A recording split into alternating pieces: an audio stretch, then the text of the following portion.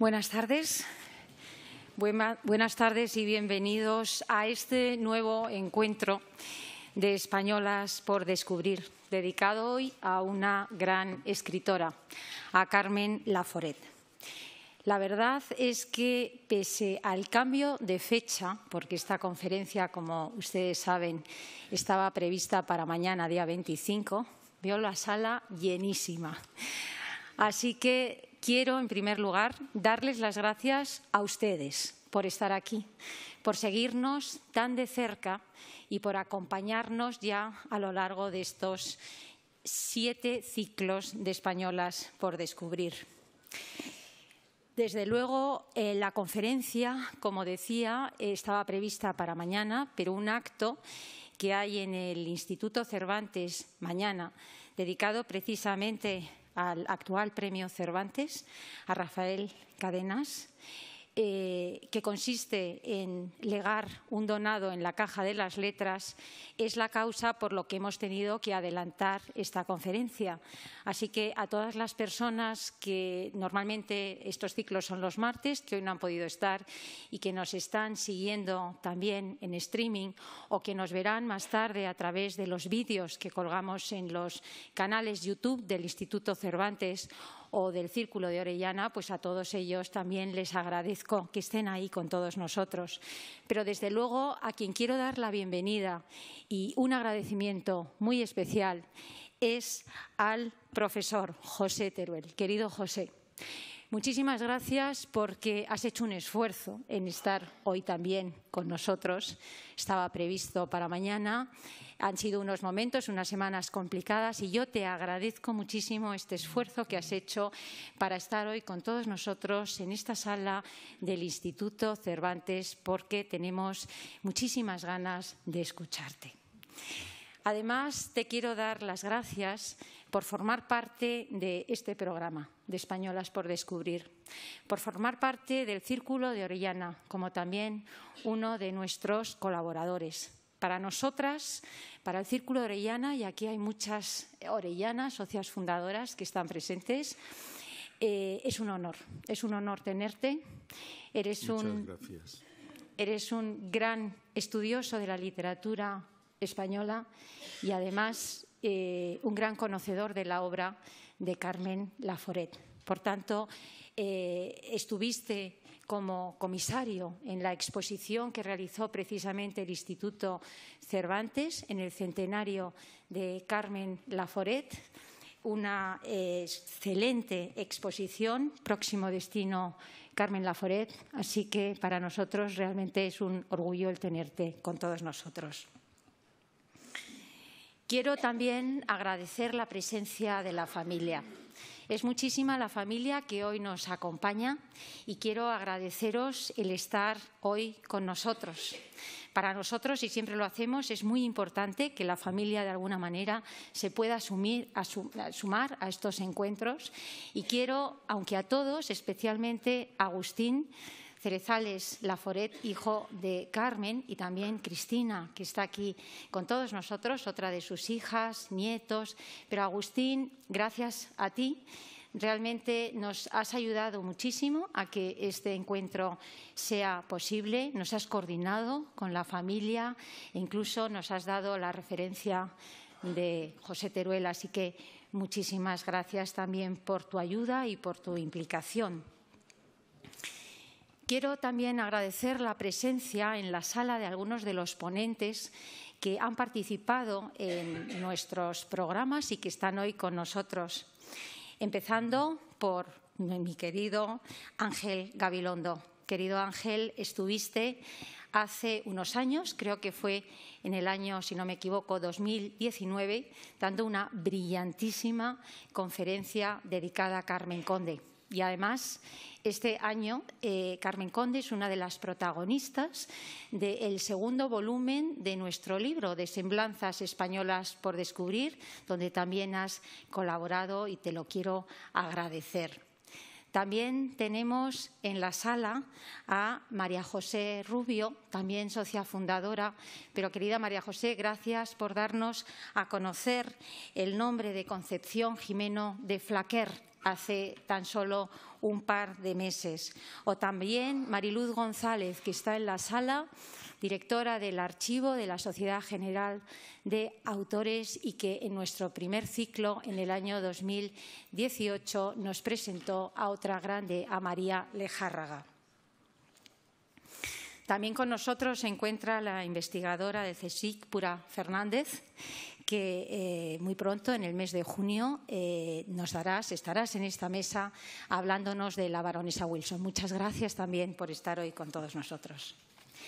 El Círculo de Orellana es una asociación sin ánimo de lucro que actúa gracias al trabajo de las socias fundadoras, que todas voluntariamente organizan programas públicos para dar a conocer y visibilizar el talento femenino, con el fin de generar referentes entre las nuevas generaciones.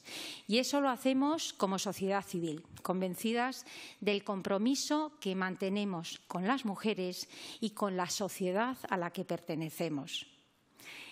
Españolas por Descubrir es un programa en el que actuamos desde el pasado sabiendo la importancia que tiene conocer nuestra propia historia para avanzar de cara al futuro. Pero también el Círculo de Orellana actúa en el presente, dando visibilidad a mujeres que actúan desde su excelencia y desde su compromiso, sacando iniciativas increíbles o actuando también en esa responsabilidad con nuestra sociedad desde el servicio público. Programas como Impulso Orellana o Miradas Orellana están ya en marcha. Este programa, Españolas por Descubrir, es un programa divulgativo plural y diverso, dedicado a realizar una revisión histórica de quienes han actuado a través de la historia de España, logrando lo impensable defendiendo el derecho a la educación de las mujeres, defendiendo el derecho a tener un trabajo remunerado y defendiendo el derecho a ejercer nuestro talento intelectual es un ciclo dedicado a mujeres que nos han precedido, siendo todas ellas capaces de lograr sus sueños en circunstancias muchas veces de grandes dificultades. Y gracias a los valores que desarrollaron, pudieron actuar con esfuerzo, con compromiso, con valentía y con determinación. Y no siempre, pese a sus logros, han sido suficientemente reconocidas o recordadas.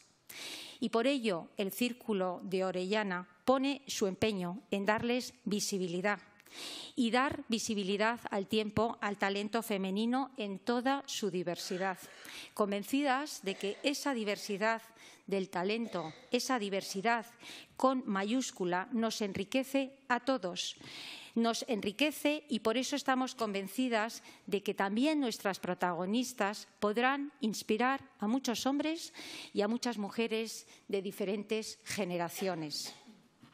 Y ya para terminar, decirles que nosotras desarrollamos este programa en colaboración y con la implicación del Instituto Cervantes desde hace ya más de seis años. De hecho, ya han pasado por aquí, ya hemos realizado más de 60 encuentros. Y por ello siempre les digo que para todas nosotras, para las orellanas, es una gran satisfacción hacer este recorrido entre valientes protagonistas de nuestra historia, de la mano de una de las grandes instituciones de la cultura en español, como es el Instituto Cervantes. Y por ello agradezco siempre, y hoy una vez más, la confianza del Instituto Cervantes tanto en este programa como en el Círculo de Orellana. Y como hago habitualmente, querido José, voy a, de una manera breve, voy a dar una semblanza tuya, como hago con todos los ponentes. José Teruel es profesor honorario de literatura española en la Universidad Autónoma de Madrid. Ha sido visiting professor del Duke University en la Escuela Española de Middlebury College en la y también en la Universidad Ca' Foscari de Venecia entre sus publicaciones destacan las monografías La joven poesía española del medio siglo, otro marco teórico para el medio siglo, la poesía de Miguel Fernández, El trampolín y El atleta. Estudio y edición de Los placeres prohibidos y Los años norteamericanos de Luis Cernuda, con la que obtuvo el Premio Internacional Gerardo Diego de Investigación Literaria.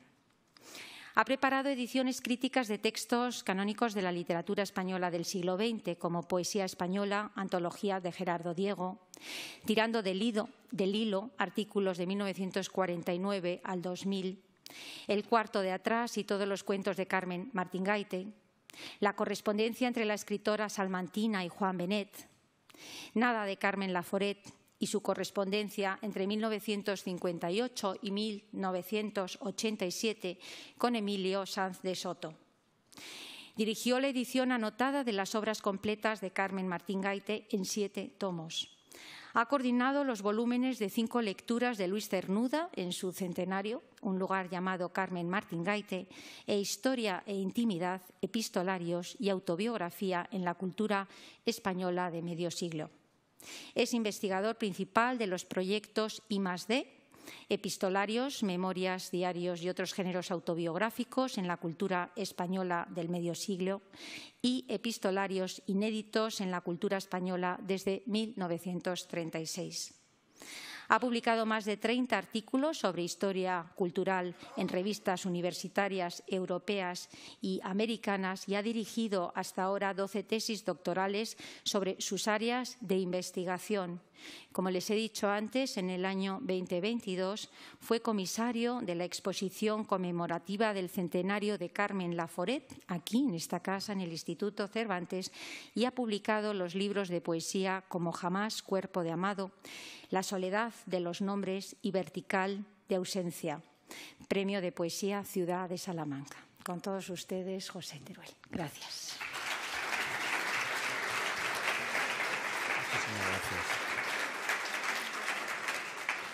Eh, muchísimas gracias, Leticia, por tu presentación, por tu calidad presentación. Muchísimas gracias a todos los presentes. Realmente para mí es muy emocionante ver tanta gente hoy aquí. Eh, particularmente le doy las gracias a, la familia eh, Cerezales Laforet, a los que voy conociendo a uno a uno poco a poco también a amigos tan entrañables como eh, Ángel Gabilondo, eh, Carmen Gallardo, Rey Green, Santiago López Ríos, eh, Pura Fernández, Elena Postigo, Carmen de la Guardia, Elena Madariaga, etcétera, etcétera, etcétera. me siento muy bien acompañado y lo primero que quiero deciros es que para mí hablar de Carmen de Carmen Laforet no es acercarse algo dado o dictado desde afuera. Eh, yo nací en 1959, es decir, soy un hijo de la generación de Carmen Laforet, de una generación de posguerra. Eh, para todos los que somos hijos de esa generación, constituye un deber de memoria amorosa, entender aquella historia con sus historias. Entender todas las historias que nos legaron de viva voz o por escrito. Sin ese conocimiento, sin esas historias, ningún hijo jamás podrá existir, ni siquiera recordar y tampoco olvidar. Dicho esto, eh, mi eh, conferencia o mi lectura será también una invitación muy implicada emocionalmente a la lectura de una escritura para mí fundamental como es eh, Carmen Laforet. La noche del Día de Reyes de 1945, Carmen Laforet, una joven completamente desconocida, nadie sabía nada de ella, de 23 años, de 23 años, recibe el primer premio Nadal en el curso de una cena celebrada en el desaparecido Café Suizo de la Rambla.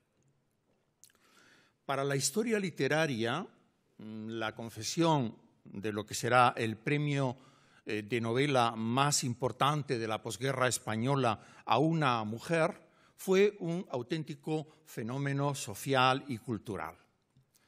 Es un hecho reconocido que los premios literarios animaron el precario mercado editorial español del primer franquismo. Los editores se resistían a publicar novelas de autores jóvenes y estos tuvieron que acudir al complicado mecanismo de los premios para darse a conocer. Además, el hecho de que la primera beneficiaria del nadar recayera en una mujer fue un poderoso acicate para el devenir inmediato de la escritura femenina de posguerra. Como demuestran eh, las escritoras favorecidas en el decenio de 1950 por el Nadal. Sirvan de ejemplo Elena Quiroga, Dolores Medio, Luisa Forellat, Carmen Martín Gaite o Ana María Matute, entre otras. Por tanto, lo primero que hay que decir es que Carmen Laforet, con nada, abrió un camino y brindó un modelo que era la antítesis de los estereotipos heroicos a otras jóvenes escritoras de la inmediata posguerra. Carmen Martín Gaite confesará en la noche de Sofía Veloso. Aquella chica tenía 23 años y le acababan de dar un premio que la descubría como escritora porque antes de eso nadie había oído hablar de ella. Era, pues, posible. Yo quería escribir una novela y ganar el Nadal, aunque no se lo dije a nadie.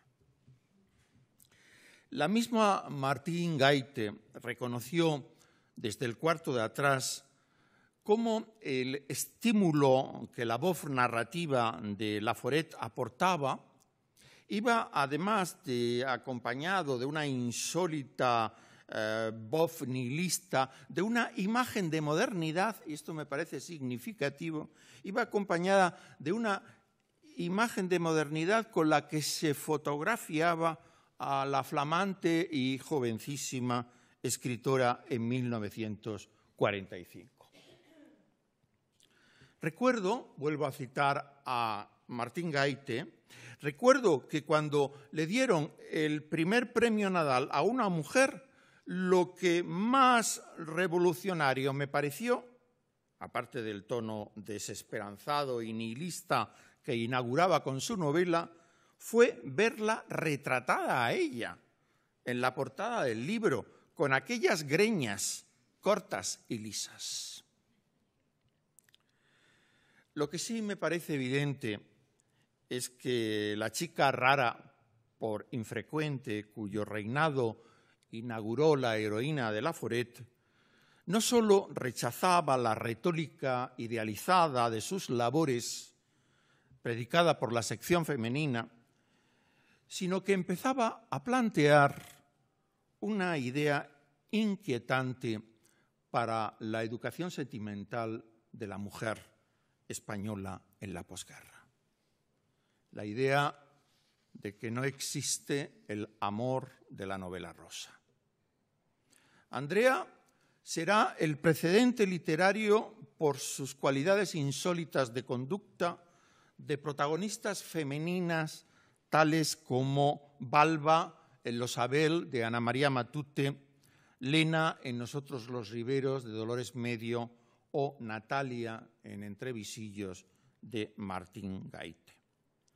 Nada fue una novela abiertamente generacional y reveló en la España del racionamiento y del extraperlo el nacimiento de un nuevo lector, un lector juvenil, universitario y también femenino, que no buscaba en un libro una cura de olvido.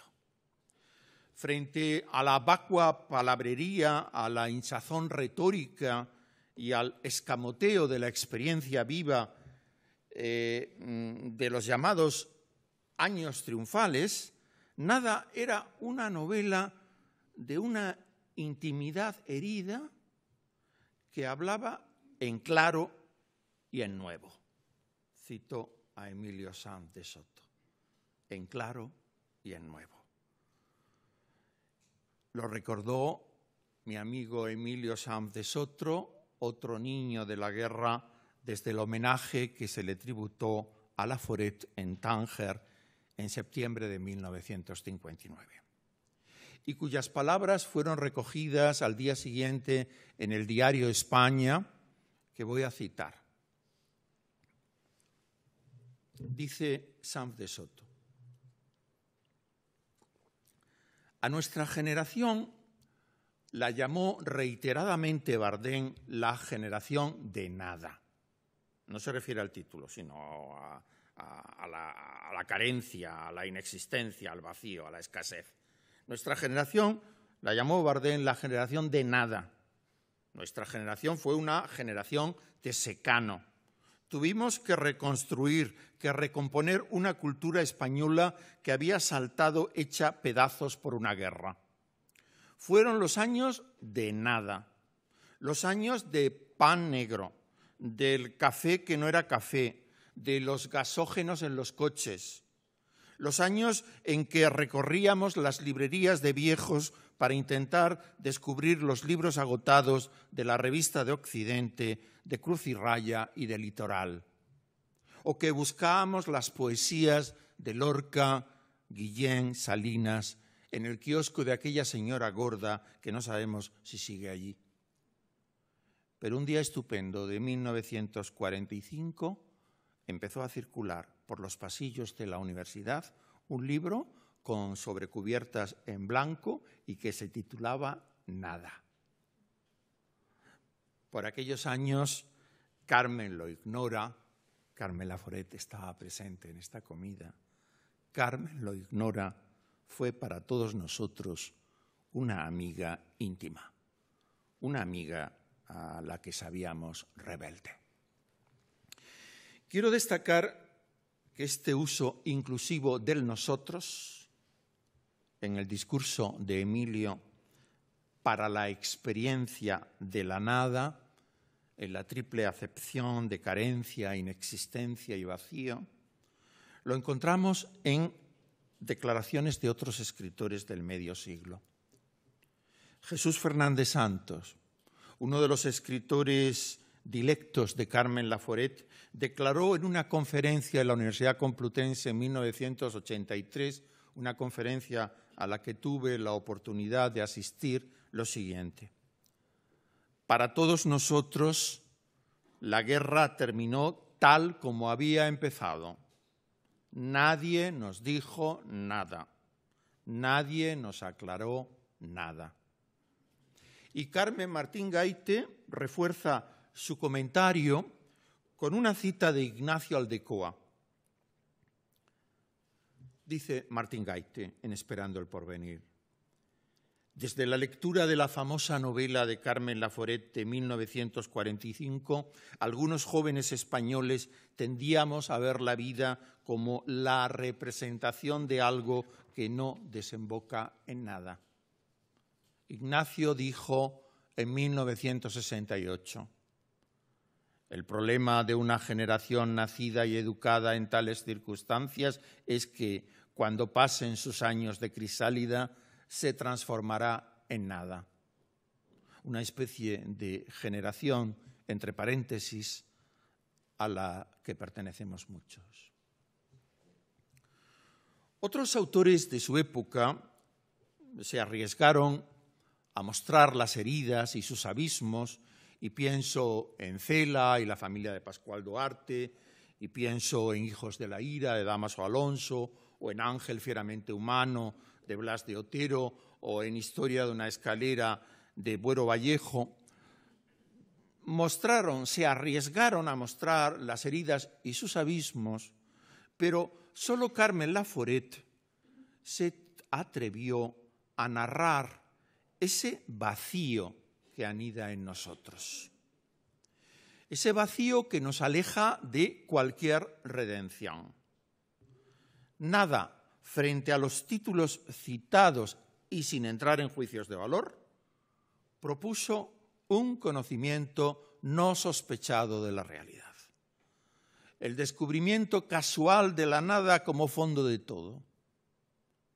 Y además, esto es importante decirlo, a través de una narración en sordina, una narración que no gritaba.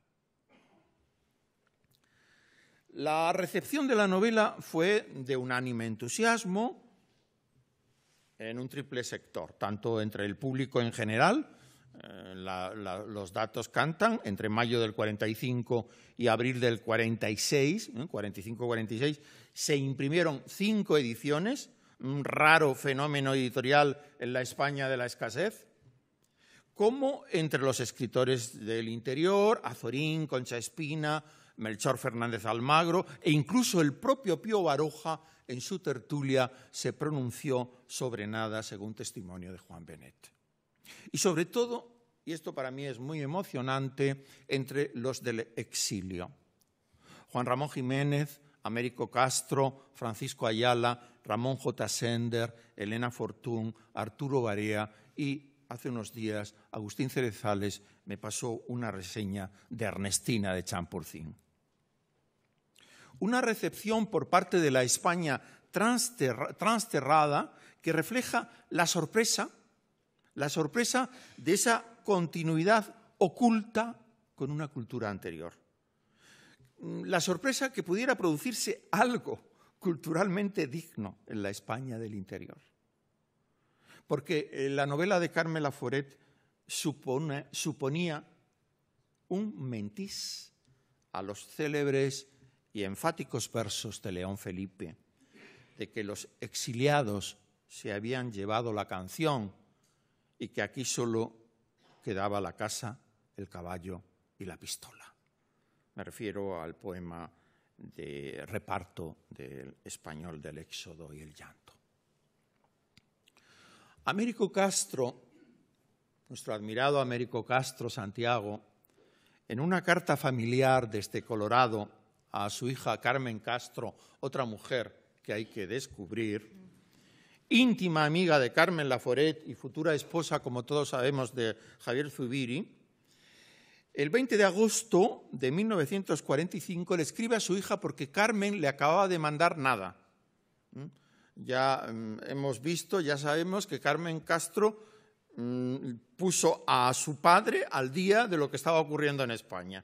No solo en esta entrega de nada, sino también como ocurrió con Cinco Horas con Mario de Miguel Delibes. Y escribe una carta absolutamente bellísima que a mí me parece eh, eh, la gran reseña sobre nada del exilio con la de Juan Ramón. Cito brevemente. Me hace pensar este libro, le dice a su hija. Es quizá la primera cosa en verdad lograda que ha salido mi teoría, que guardo para mí, se confirma. Los desastres en ciertas formas de vida histórica no van a ninguna parte ni consiguen nada. Son posible abono de establo para orquídeas que brotan o no. Una orquídea en el fiemo, una orquídea en el estiércol. Fue la aproximación de Américo Castro a la primera novela de Carmen Laforet. Bien, esto si atendemos a la historia, a mí la verdad escribir la historia con mayúscula ya no puedo nunca escribirla con mayúscula. Si atendemos a la historia con minúscula, como se debe escribir, pero si atendemos a la intimidad y vamos a Carmen Laforet, es significativo constatar que nada despertó, sí, nuevas vocaciones entre escritoras. Esto es importantísimo, pero ¿cómo vivió Laforet este ruidoso éxito? Carmen Laforet se sintió desbordada por las expectativas creadas por su primera novela y por tener que poner a prueba su talento por la pregunta, por la constante pregunta. ¿Y qué libro prepara usted ahora? El sino del escritor públicamente conocido, notorio, no se lo creía, ni era un papel que le agradase. En tal sentido fue la antítesis de Cela. Lo que más me importa es una carta a Emilio Sández Soto, lo que más me importa, lo único de verdad es escribir con tranquilidad, a mi manera y lo mejor que sepa. Le comenta a Sánchez Soto en 1961. Nuestra escritora siempre dudó de la suerte del artista como profesión y del éxito como circunstancia favorable, ya que podría resultar una suerte imperdonable a los otros. Confiesa en un artículo de 1961, conocedora ya de las envidias y miserias de la vida literaria del bajo franquismo y eh, conocedora ya de que la vida literaria jamás se puede confundir con la literatura. Nada supuso para una muchacha que aún no había elegido una dirección en la vida, la confirmación de un destino de escritora. Y como la propia Carmen Laforet reconoce en su espléndido prólogo a sus obras completas, se asustó. Esta novela, más que un éxito, significó para ella una espantada, es una palabra literal. Y no el espanto, dice, de no poder hacer nada igual, o el injusto tópico con que muchos críticos de oídas han prejuzgado rutinariamente la obra posterior de Laforet, sino el espanto, sigo citando, de saber el precio que se paga por una vocación auténtica.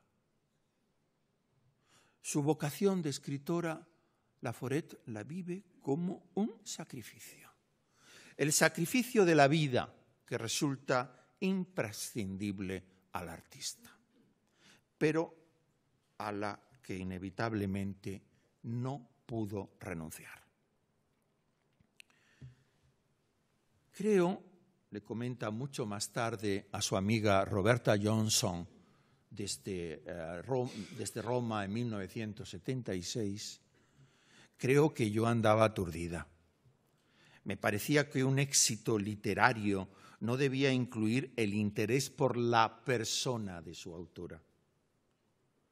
Pero me llovían entrevistas y preguntas. Comprendí que no escribiría nada más hasta que pasase todo aquello y dejasen de preguntarme, ¿qué prepara usted ahora?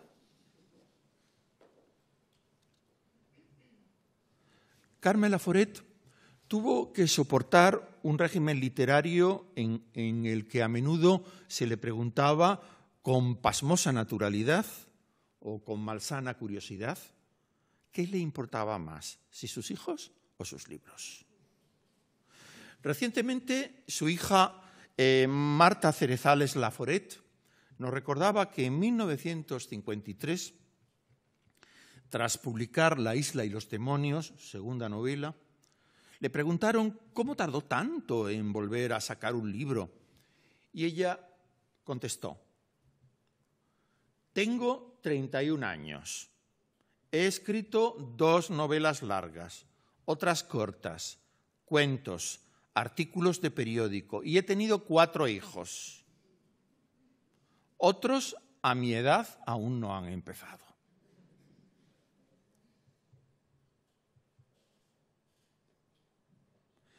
Carmen Laforet supo defenderse con humor e inteligencia de la idiotez a secas. Aunque también estamos seguros de que sus colegas masculinos de la época no tuvieron que sufrir semejantes preguntas o estupideces. De cualquier modo, también me parece evidente que Carmen Laforet no sucumbió a la popularidad ni al novelismo. es decir, a publicar volúmenes de novelas a chorro. En eso fue también ejemplar, volveré sobre ello más tarde. En 1946, punto y aparte, contrae matrimonio con el periodista y editor eh, Manuel Cerezales, con quien tendrá eh, cinco hijos y del que eh, se separará en 1970. Durante estos años tuvo que conciliar, crear y procrear. La correspondencia con Elena Fortún alude a esta cuestión en dos cartas de 1950 y 51. Escribe a Elena Fortún, ¿sabes que cuando yo iba a tener mi primera niña creía que no volvería a escribir? Creía que eso me servía lo mismo. Luego resultó que no, que los hijos de carne y hueso son cosas aparte y que uno, por lo menos yo, no se puede entregar enteramente a ellos. Y en 1951 vuelve a decir, yo, cuando espero un chico, no tengo la menor facultad creadora para otras cosas. Crear y procrear. Sin embargo, entre 1946 y 1963 situamos el grueso de su obra. Sus novelas La isla y los demonios, del 52, La mujer nueva, del 55, La insolación, del año 63, y su narrativa breve, recogida en el volumen de cuentos La muerta y el de novelas cortas La llamada, ampliadas posteriormente en La niña y otros relatos. A sus novelas, cuentos y novelas hay que añadir la crónica de su primer viaje a Estados Unidos en 1965, una crónica muy interesante, invitada por el Departamento de Estado como International Visitor, bajo el título de Paralelo 35. Fue el rótulo que le propuso eh, su editor. Ya posteriormente lo tituló de una forma mucho más descriptiva y exacta Mi primer viaje a USA a Carmen Laforet no le gustaba, y esto es muy simpático, no le gustaba para nada los títulos pretenciosos. Eh, tuvo una manera muy suya de rotular que convocaban a un diagnóstico, nada, la mujer nueva, la insolación, o a una mecánica, la isla y los demonios, al volver la esquina, tres pasos fuera del tiempo. Estas crónicas de su primer viaje a USA han sido eh, completadas recientemente con un diario de gran interés donde se cuenta la travesía marítima y sus prolegómenos desde el embarque en Vigo el 16 de septiembre en la motonave Guadalupe hasta su llegada a América y en concreto a Puerto Rico y su encuentro con Puerto Rico. Es un diario en el barco de muchísimo interés. Se llama El cuaderno verde. Y a estos títulos, fijaros lo que estoy enumerando, se agregan sus artículos desde 1948 a 1983, desde la revista Destino a El País, que supusieron para ella un medio de subsistencia y también una forma de escritura convertida en costumbre, y de pensamiento transformado en un devanar de acotaciones felices, cuya recuperación, y esto es un trabajo por hacer, constituirá una valiosa autobiografía espiritual de la autora, como ha demostrado la edición de Agustín Cerezales del libro de Carmen Laforet, vista por sí misma. Los artículos de Carmen Laforet no son especulaciones sino comentarios espontáneos que no pretenden dejar nada establecido ni resuelto y cuyo estilo no es ajeno al que se descubre en su obra de ficción. De todo lo que habla es como si lo hubiera visto. Nos lo pone ante los ojos, nos lo cuenta. Y el lector agradece que no deponga su condición de narradora. Carmen Laforet convierte en vida cuanto toca. Tales credenciales que acabo de enumerar, más su novela póstuma Al volver la esquina, confirman que Carmen Laforet no fue solo la autora de nada, sino de una eh, sostenida producción narrativa que es necesario valorar en su conjunto. A la altura de 1957, eh, Carmen Laforet, con 36 años, reunió eh, lo que entonces parecía solo el primer tomo de sus obras completas. Este eh, volumen contenía un interesante prólogo, ya lo he citado, unas líneas de la autora, de los pocos prólogos que escribió, le horrorizaba teorizar, donde eh, Laforet analiza la tensa relación que mantuvo con su obra, con su vocación de escritora y con el reconocimiento público. El conflicto entre vivir y escribir, o más exactamente, la incapacidad de establecer un vínculo armonioso entre la escritura y la vida por el desgaste vital que exige la voluntad artística es, desde mi punto de vista, la clave de bóveda que atraviesa el proyecto narrativo de Carmela Foret. Y a ello apunta esta impresionante antítesis o paradoja ambivalente donde los extremos se atraen y repelen al mismo tiempo. Cito, es, eh, es, es un fragmento del prólogo. Cuando hice la segunda novela, La isla, comprendí que no había remedio, que todo lo que floreciese en mi vida sufriría ese monstruoso proceso de elaboración literaria para inventar y que con toda la angustia de mis huesos todo se convertiría en tinta, quisiese yo o no quisiese. A la altura de 1957, Carmen Laforet afirmaba con Tumaz, no puedo renunciar a la abnegación de una vocación verdadera. Quizá mi vida humana tiene sentido solo por perderla en esa entrega apasionada.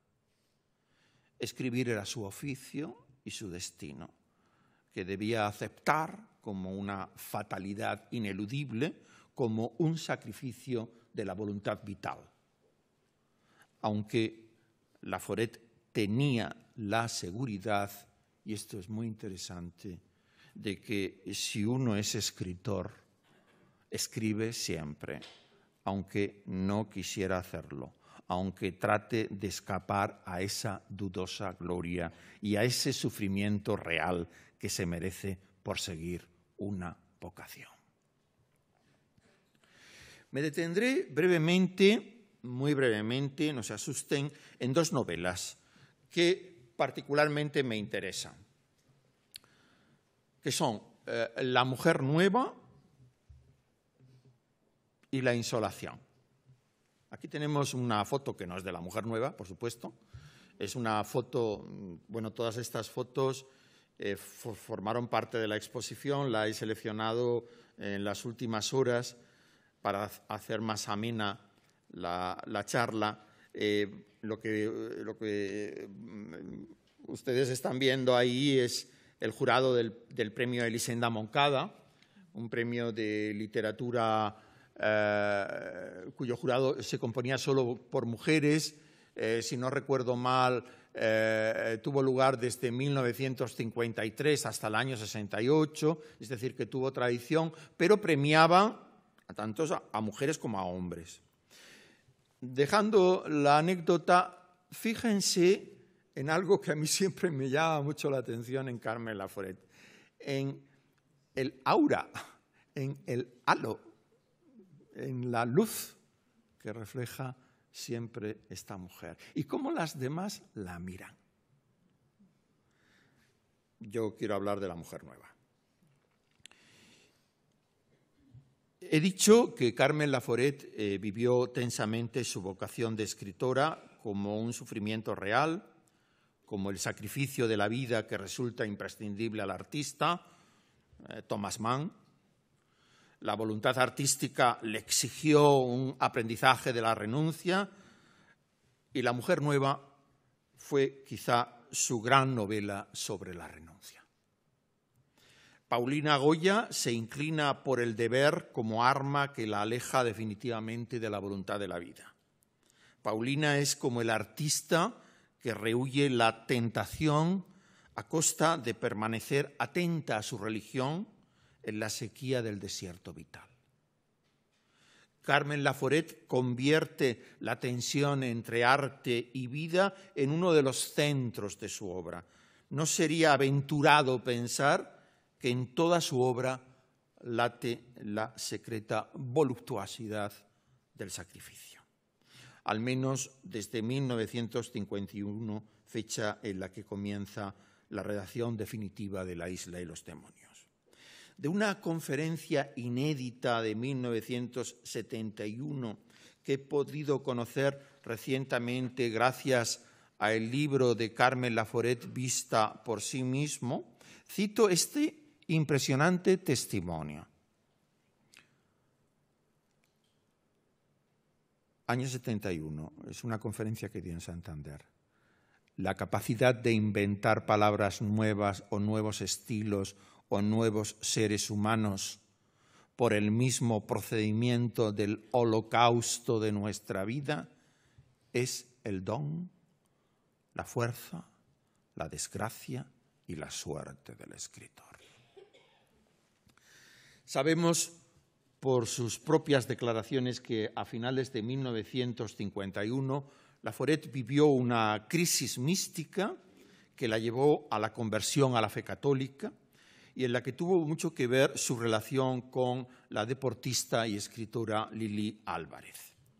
Es necesario puntualizar, y esto me parece fundamental, que su espiritualidad católica estuvo siempre más cerca de Edith Stein, Simone Weil y Thomas Merton que del nacionalcatolicismo.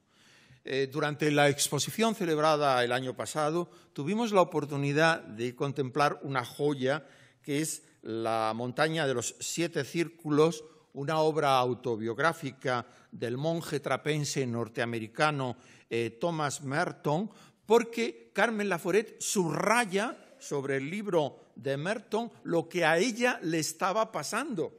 Exactamente lo mismo que hacía Teresa de Jesús cuando tenía que explicar sus atribuladas y complejas relaciones con Cristo, lo hacía a través de una lectura de un libro de la subida del monte Sion de Fray Bernardino de Laredo, que a la pobre además se lo prohibieron en el índice de libros prohibidos. ¿Eh? un subrayado en un libro de un cartujo eh, norteamericano para eh, explicar lo que a ella le estaba ocurriendo, para encontrar un lenguaje. Pero de cualquier forma, así rememoraba, esta conversión en 1966 yo como historiador soy un obseso de las fechas porque en el marasmo de la historia es lo único que nos ayuda a agarrarnos un poco. Eh, le escribe a Ramón J. Sender en el 66, es decir, con la distancia de quien escribe después de los hechos. ¿Eh? Para mí, escribir después de los hechos, ¿eh? como, como el propio Cernuda escribió de la guerra civil después de la para mí la cosa de Dios ha sido tremenda. Primero como algo que vino desde afuera, luego una búsqueda de siete años en que hice las mayores idioteces y las dejé y me metí por todos los vericuetos de nuestro catolicismo español en lo que tiene de venero religioso y en lo que tiene de absurdo y enmohecido. El resultado literario de esta conversión fue su tercera novela, La Mujer Nueva. La Mujer Nueva es un libro incómodo y por incómodo más de una vez ha sido juzgado con displicencia, no solo en la España de 1950, donde los prejuicios ideológicos estaban más arraigados que los juicios críticos, sino también en relación con la totalidad de su obra, especialmente la segunda y tercera parte. Quizá sea la novela que haya generado un escrúpulo infundado de que después de nada no hubo nada en la narrativa de Carmen Laforet para mí es una de sus grandes obras.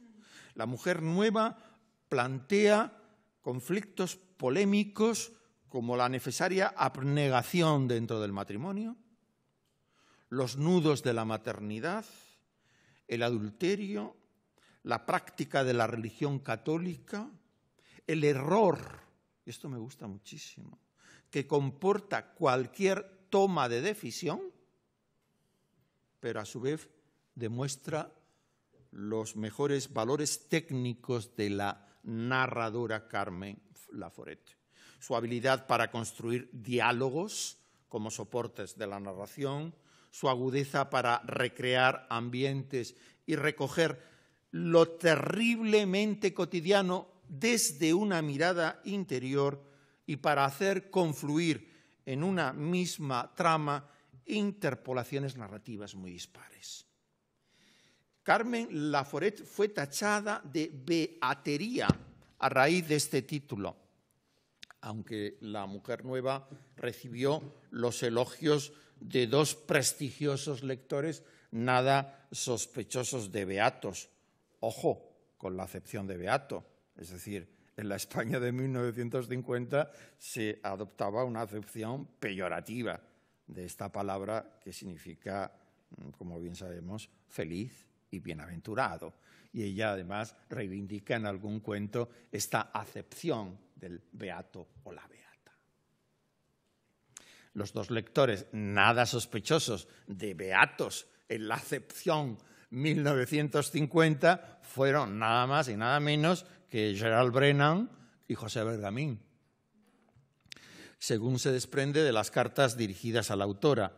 Este último, Bergamín, concibió las tres novelas publicadas hasta entonces por Laforet como una trilogía, esto es interesante, en la que los personajes femeninos de Andrea, Marta y eh, Paulina Goya representan tres edades distintas, juventud, adolescencia y madurez, respectivamente. Dice eh, Bergamín, un laberinto entrañable de vida y sí quiero decirle contra malas críticas y falsos críticos que en este proceso novelesco que va de nada a la mujer pasando por la isla no encuentro bache ni desmayo. Todo lo contrario, encuentro algo que crece y se afirma cada vez con más seguridad y acierto, cada vez mejor. Emilio Sam de Soto le comenta en una carta, la mujer nueva no traicionó a Andrea, al contrario, la afirmó. Precisamente una trilogía, tres pasos fuera del tiempo, fue el siguiente proyecto narrativo de Carmen Laforet que quedó esbozado desde el prólogo a esta novela cuya portada muestro, La insolación, para un gran conocedor de su obra, el crítico, mi admirado crítico Ignacio Soldevila, su mejor novela, para quien está hablando también. Vemos eh, que esta portada es, eh, es una portada que dibujó su hijo Manuel Cerezales, que nos dejó hace un par de años. Eh, considero que la experiencia tangerina de Laforet durante los años 58 y 59, donde se va a encontrar con Emilio Sanz de Soto, dejó una notable huella en, en esta magnífica novela a través de los Corsi. Núcleo familiar de incierta nacionalidad y que representa ese desprejuiciado mundo cosmopolita que la escritora acababa de conocer en Tánger y que tanto contrasta con el clima asfixiante de la inmediata posguerra.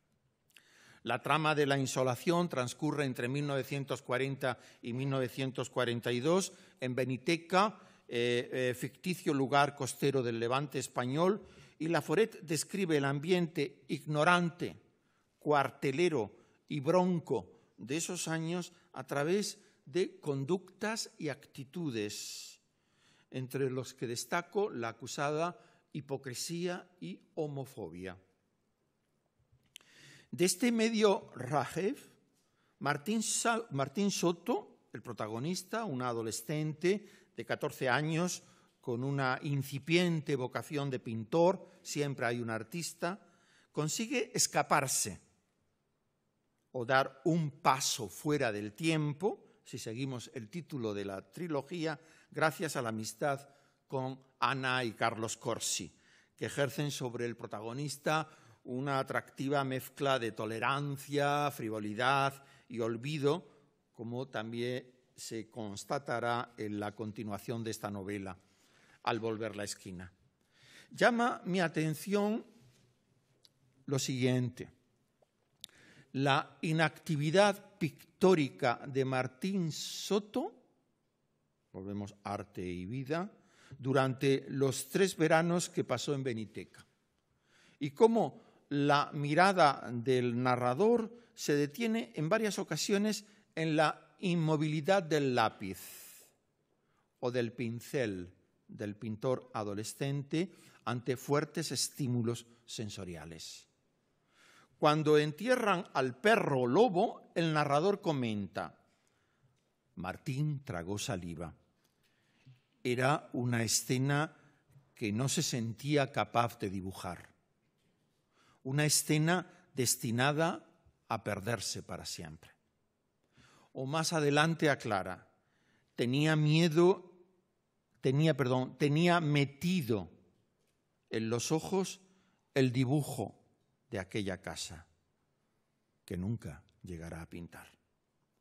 Viene a mi mente el conflicto laforetiano entre vivir y escribir, verbalizado fugazmente pero con una sencilla precisión en el artículo Horas de Tánger, no es muy fácil escribir cuando se está viviendo.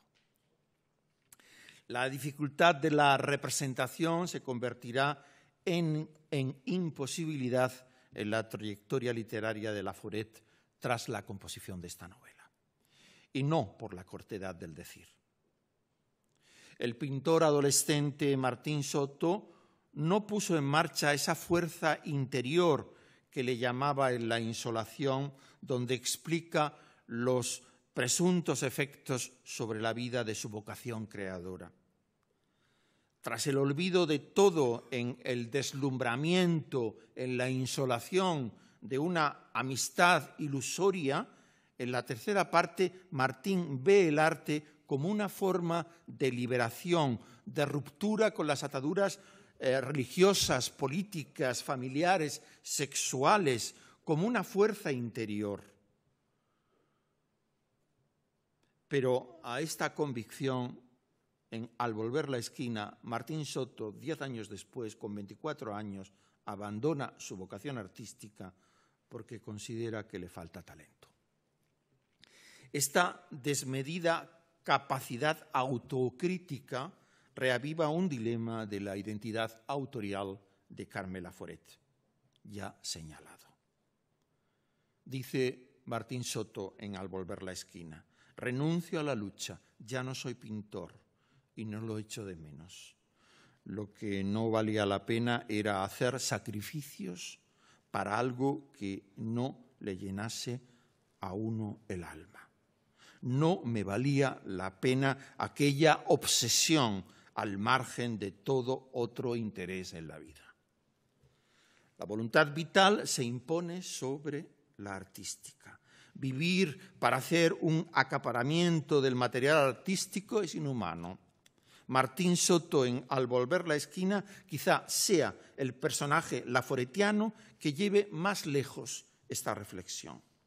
Aunque cuando se libera, cito, de aquella obsesión de ser artista grande, tampoco encuentra en la voluntad vital aliento o recompensa, solo una vaga espera. Nos encontramos, pues, en esta última novela inconclusa, pero de enorme importancia en el proyecto narrativo de Carmen Laforet, con un tópico más contemporáneo, más contemporáneo que el nullus sermo sufficiat o la radical cortedad del decir que eh, documentaba Curtius. Nos encontramos con el tópico de la doble insuficiencia del arte y de la vida, que la narradora empezó a desarrollar en jaque mate según su correspondencia con eh, Emilio Sanz de Soto me permite conjeturar, y que presupone una entera actitud ante el mundo y el lenguaje.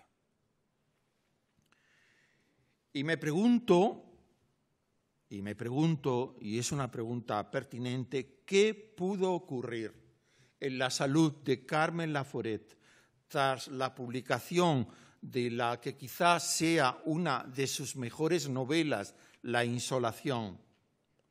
Sabemos por estas cartas que emprendió con gran seguridad la trilogía Tres pasos, de fuera, tres pasos fuera del tiempo y la redacción de la primera entrega supuso, eh, según le manifiesta a Emilio San de Soto, una enorme apertura a escribirla y, seguirá siendo escribir las otras dos, le dice. Pero en cambio, a partir de 1964, la Foret no encuentra sitio propicio ni calma para elaborar al volver la esquina. La novela que definitivamente pudo con ella. A pesar de que tras su separación matrimonial se sintiera al principio de un camino, cito, tal como le expresa a Emilio desde Cercedilla. Intentaré seguidamente acercarme a los posibles motivos. En esta paradoja, en esta paradoja ambivalente entre parálisis y permanencia en la escritura, donde los términos contradictorios no son antitéticos, sino recíprocamente inclusivos. No poder escribir, no publicar y, sin embargo, seguir intentándolo. Primera razón, el apartarse, el apartarse de ese camino de recuento de hallazgos personales que menciona en su carta de 1973 a Bernardo de Arrizabalaga pudo ser un factor de su sequía creadora. Eh, tras la publicación de sus tres primeras novelas, sus tres primeras novelas, Carmen Laforet, como he comentado, soportó la tosca confusión entre su biografía y su literatura, en la que fácilmente solían caer los entrevistadores de turno o los críticos de oficio que buscaban a toda costa no solo raíces autobiográficas, sino también identificaciones inmediatas, tras esta mecánica de opinión entrevemos un prejuicio de una mirada masculina que presupone la incapacidad de la escritora para remontarse a otros terrenos que no sean los de su propia biografía y su consiguiente anclaje en un mundo corto exclusivamente apegado a lo íntimo, Laforet tuvo que defenderse constantemente de biografismo como si lo personal fuera un desdoro. La prevención tanto de su padre como de su marido ante la materia autobiográfica es un ejemplo de los prejuicios impuestos por la moral del patriarcado. Aunque este abandono del camino del reencuentro personal pudo ser un factor limitativo, no considero que fuera el único motivo que explique su futura agrafia. Carmen Laforet sabía cómo desobedecer. Talento literario y audacia no le faltaban. Y como su dilecta Teresa de Ávila, partió de la obediencia, pero para desobedecer, para hacer las cosas a su modo. Y ese es su mayor timbre de gracia, no solo como mujer, sino también como renovadora del lenguaje. A esta eh, primera restricción se añade un segundo motivo que quizás me convenza más, el feroz juicio autocrítico que la acompañó siempre. Le dice a Elena Fortún, no creas que tengo miedo a la crítica, sino a la mía propia. Esta inclinación a la autocrítica se exacerbó en el último periodo de su vida y, la condujo a una perspectiva confusa de su obra y de su talento literario hasta destruir todo lo que escribía, con gran pavor y suspicacia por publicar. Nada fue, eh, comenta Cristina Cerezales en Música Blanca, la única novela que lanzó al mundo con entusiasmo. Veinte años más tarde de la carta, Elena Fortún le escribe a Ramón J. Sender. A veces se me ocurre que me gustaría ser cualquier cosa menos escritora. Y el autor de Crónica del Alba, que conocía por su carteo la capacidad de autocrítica de Laforet, le replicó sagazmente en 1966. Dice que a veces le decepciona alguna de sus obras, bien, siga usted decepcionándose y déjenos el entusiasmo a nosotros. La autoexigencia es un certificado de indiscutible seriedad, pero también terminará siendo un impulso destructivo. Tres, otra razón, otra posible hipótesis de su agrafía, quizás, quizás la más definitiva o poderosa, se dio a causas físicas, no a la asunción del silencio.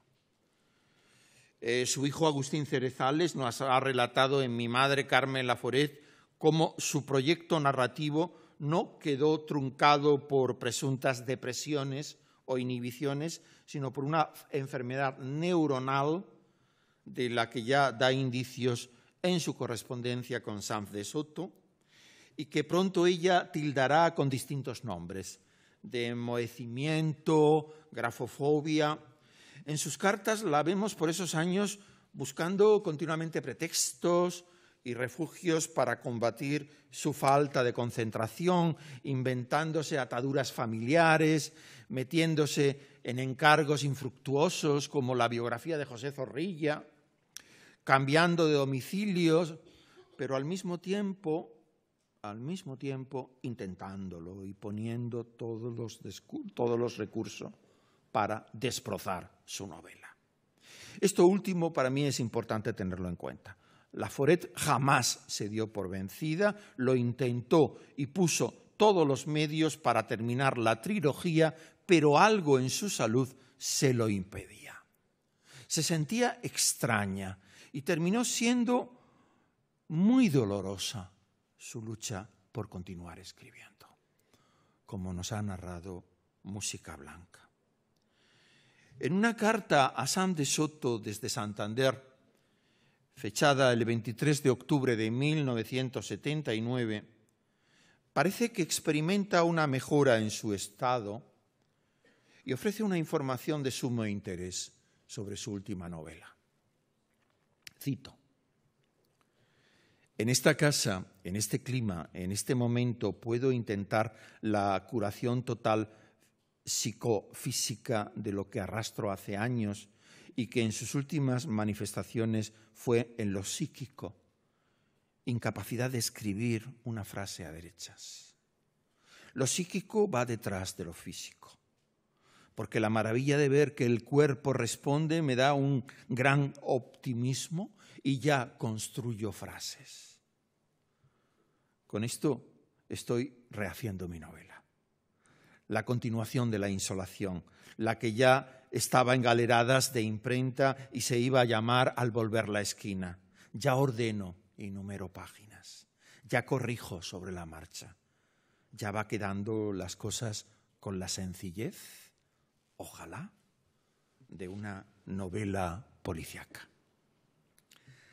A pesar de que continuamente manifieste su pereza, Carmen Laforet fue una escritora muy laboriosa capaz de reescribir su prosa hasta conseguir el efecto emocional buscado y se impuso como norma la sencillez, la difícil sencillez como búsqueda estilística en la línea, de Natalia Ginsburg o Merced Rodoreda. Es uno de los logros esta eh, difícil sencillez de Laforet no suficientemente valorados. Le escribe Gerald Brennan a raíz de leer La Mujer Nueva. Usted tiene una manera de ver y escribir que me gusta mucho, porque es completamente natural. Sus frases brotan como una fuente, claras, limpias y completamente sinceras. Sabemos, voy terminando, que el último artículo que Carmen Laforet eh, publicó data de 1983, con el expresivo título de Juventud Antirreglamentaria. Estuvo dedicado a Rafael Alberti, uno de sus encuentros en el Trastevere junto a María Teresa León, Enrique de Rivas y María Zambrano. El pretexto inicial fue homenajear al autor de Roma, Peligro para Caminantes, por la concesión del premio Cervantes. Pero en el fondo es un tributo a alguna de las pasiones que Laforet compartió con sus amigos. El culto a la amistad, el poder rectificador del sentido del humor, la juventud sin edad, y el diálogo entre generaciones. Y cuatro años después del último artículo, el 13 de agosto de 1987, también desde Santander, escribe por última vez a Emilio Sanz de Soto una emocionante carta con letra infantil y en hojas de renglones guiados procedentes de un cuaderno escolar. Esta misiva denota la pervivencia de su curiosidad intelectual y expresa su entusiasmo tras ver la película de Héctor Babenco, El beso de la mujer araña, basado en la novela homónima de Manuel Puig. Como, en el propio mundo narrativo de la Foret, su misiva rezuma humor y dolor. Cito unas elocuentes líneas. Estas tonterías que te escribo son una pica en Flandes. Hace una enormidad de tiempo que no podía escribir ni dando las gracias por una atención, ni casi firmar un recibo de dinero, ni dar un abrazo telegráfico escrito a los amigos. A uno le gustaría pensar que Carmen Laforet pasó sus últimos años sin sentir la más mínima necesidad de escribir. Tal vez eh, Laforet consiguiera esa meta vital de libertad al final de su vida en su vagabundeo y pese a su afasia. Me pregunto si no es el vagabundeo otra estirpe de narrador que hace del desplazamiento la acción central de su relato. El viaje como creación, o con más precisión, el vagabundear como experiencia vicaria de la creación literaria.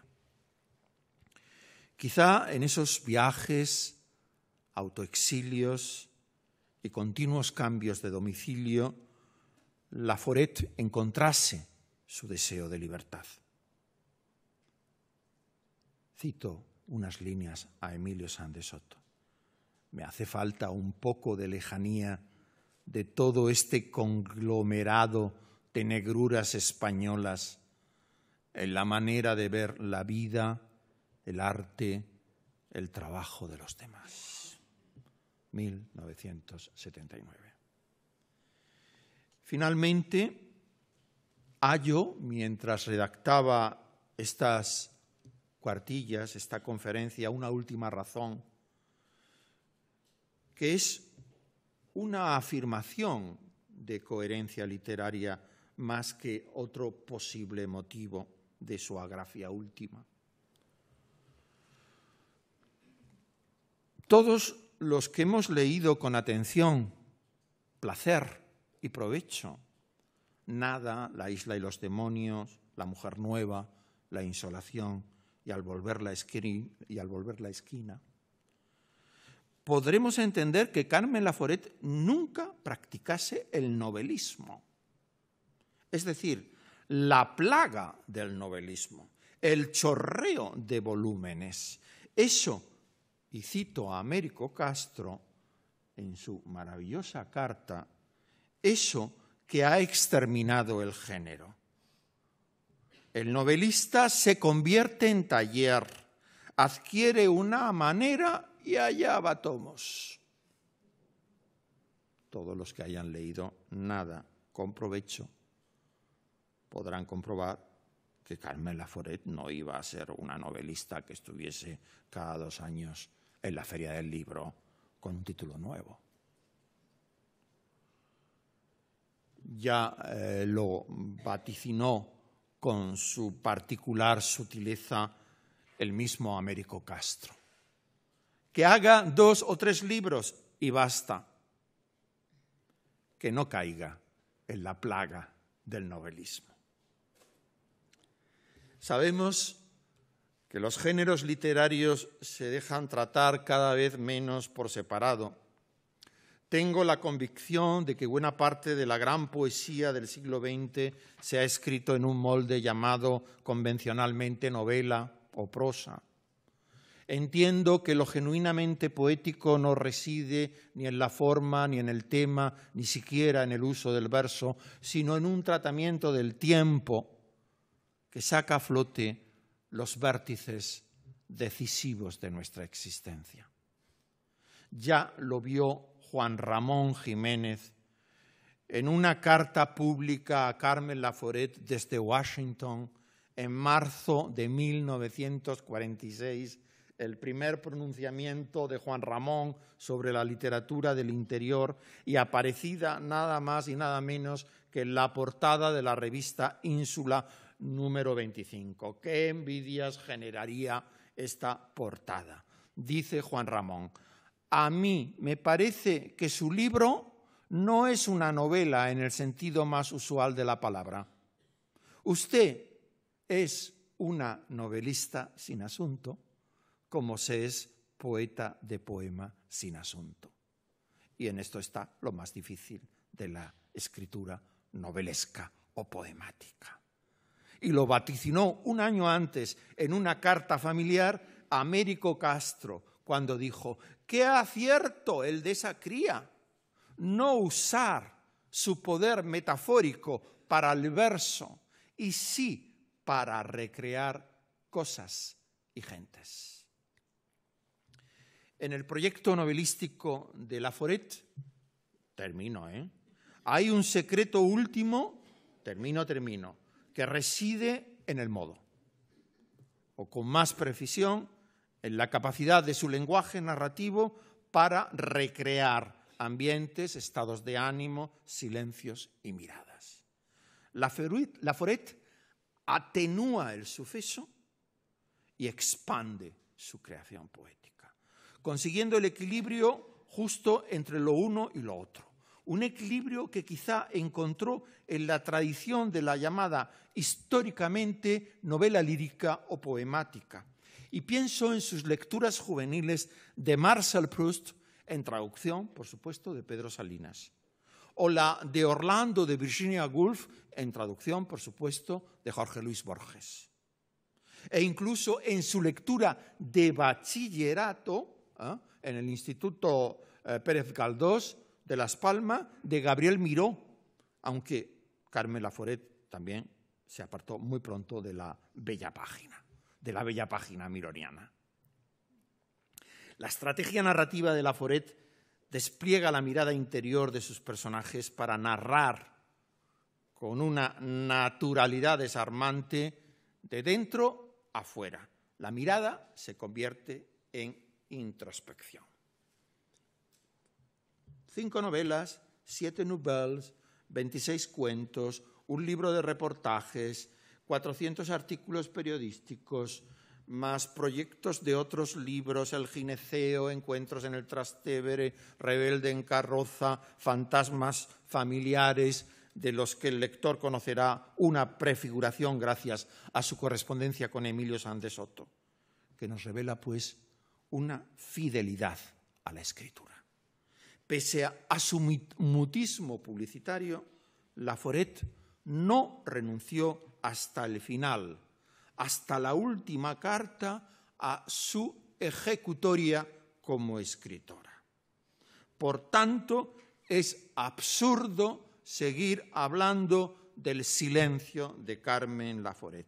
En todo caso, hay que matizar ese silencio.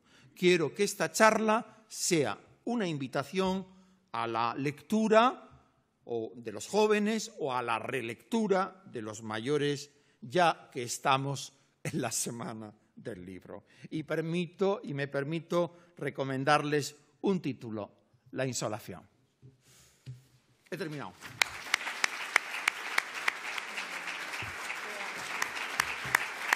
Muchas gracias. ¿Me, he pasado de tiempo? No. Muchas gracias. Qué maravilla, Joaquín. Muchas gracias. He estado muy cómodo.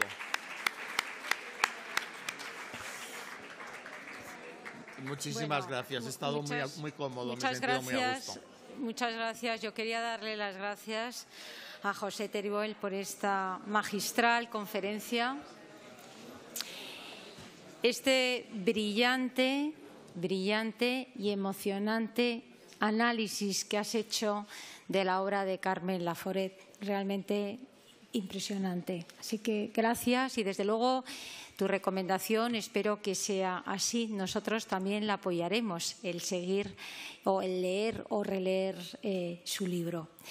Antes de finalizar, mm, me gustaría, me gustaría, tenemos, tenemos la familia también en esta sala y me gustaría, como hacemos en otras ocasiones, si queréis dar algún testimonio después de haber escuchado a José, alguna de las personas, sus hijos o incluso nietos, o bueno, estáis muchos, no sé si alguno quiere.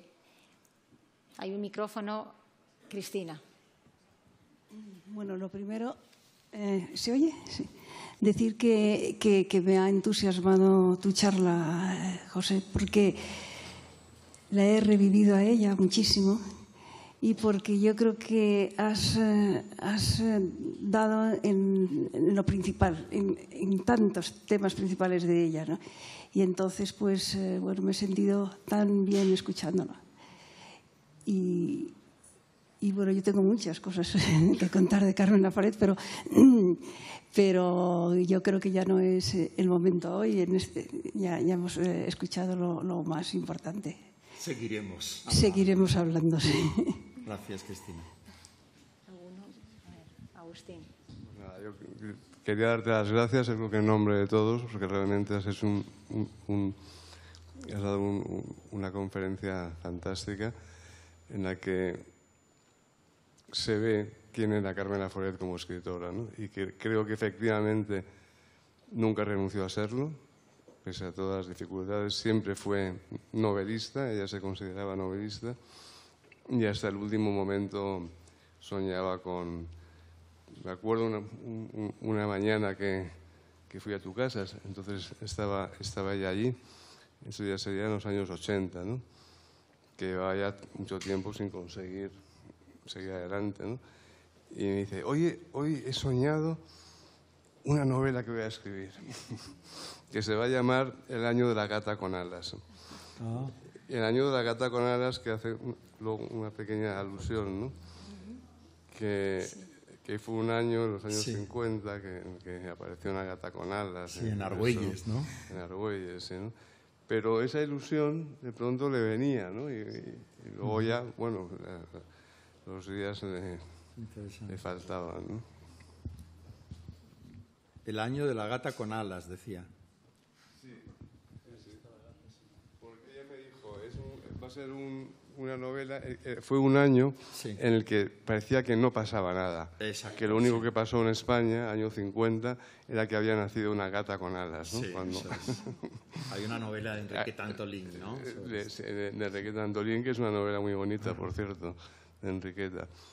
Y, o sea que las dos dieron con, e, con, ese, con ese mismo, esa misma clave de lo que era la, la, la única noticia. La única noticia en, en, esos años. Gracias, Agustín. muchas gracias a Cristina y a Agustín. Eh, estamos ya, son las nueve y no tenemos más tiempos de intervenciones porque queremos terminar con un, eh, la proyección de un vídeo muy, muy corto que ha preparado. No, bueno, eh, no, no has preparado, que lo has traído, quiero decir que, lo, traído, para verlo. Eh, bueno, todas las imágenes que he proyectado mm, mm, eh, proceden de la exposición del año pasado y Luz Bejarano fue una exposición que trabajamos en grupo. me siento muy satisfecho con el resultado. Agustín participó en esta experiencia, lo pasamos muy bien.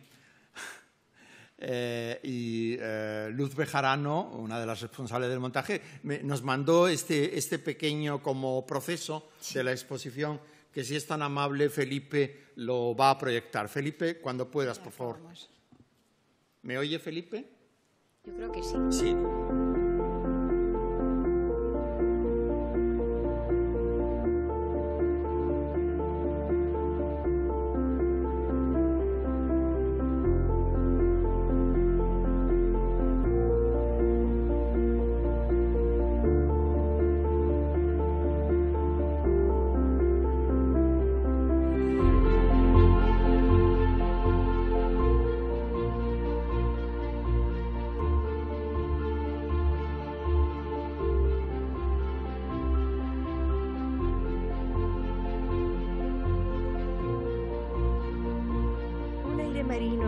Fresco entró en mis pulmones con la primera sensación confusa de la ciudad. Una masa de casas dormidas, de establecimientos cerrados, de faroles como centinelas borrachos de soledad. Una respiración grande, dificultosa, venía con el cuchicheo de la madrugada. Muy cerca, a mi espalda, enfrente de las callejuelas misteriosas que conducen al Borne, sobre mi corazón excitado, estaba el mar.